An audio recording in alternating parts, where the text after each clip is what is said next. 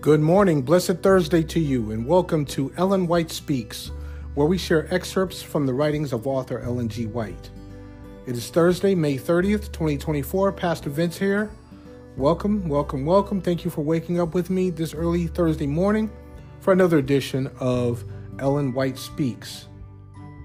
We're still in uh, chapter 5 of the book, The Three Angels' Messages God's Proclamation for the Last Days and we're working our way through the angel of Revelation 18.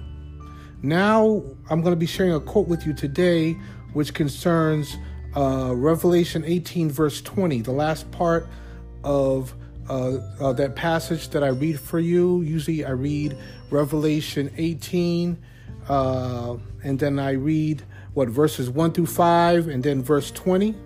I end up with uh, um, I end up with verse 20. Yeah, Revelation 18 verses 1 through 5, and then verse 20. So today we're going to take a closer look at verse 20 of Revelation 18, which says, "Rejoice over her, O heaven, and you holy apostles and prophets, for God has avenged you on her."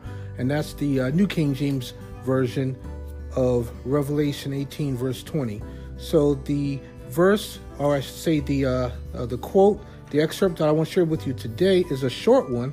is is probably the shortest excerpt that I've shared with you in quite some time, and this one is called "Believers Will Triumph with the Message."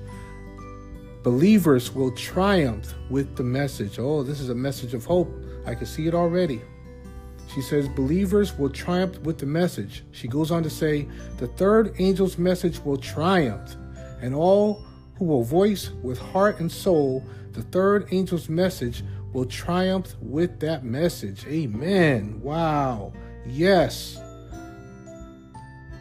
Wow, I got to read that again. The third angel's message will triumph, and all who will voice and all who will voice with heart and soul the third angel's message will triumph with that message. Amen. That's coming from letter 107 from 1897, May 7th. So, as I read that, I'm thinking about the song that many of us are very familiar with, and the song simply says, We have this hope that burns within our hearts, hope in the coming of the Lord. So, uh, forgive my singing, but I just had to sing it out, friend. I had to sing it out. Yes, we have this hope that burns within our hearts, hope in the coming of the Lord. Yes.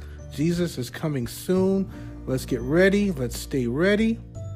And as Ellen White says, all who will voice with heart and soul the third angel's message will triumph with that message. Friend, there's nothing else I need to say today. It was short and sweet and to the point this morning. So have a blessed day. And I want you to hold on to the message I just shared with you today. Hold on to this excerpt, hold on to this quote that I just shared with you from Ellen White. And this is actually the Holy Spirit speaking through the writings of author Ellen G. White. It's not about Ellen G. White, it's about God, it's about the Holy Spirit speaking through her writings to reach our hearts. So I hope that that reached your heart this morning. Uh, keep it with you and share it with someone else today. Why don't you do that? How about that? Share it with someone else. We have this hope that burns within our hearts hope in the coming of the Lord. Have a blessed day, friend.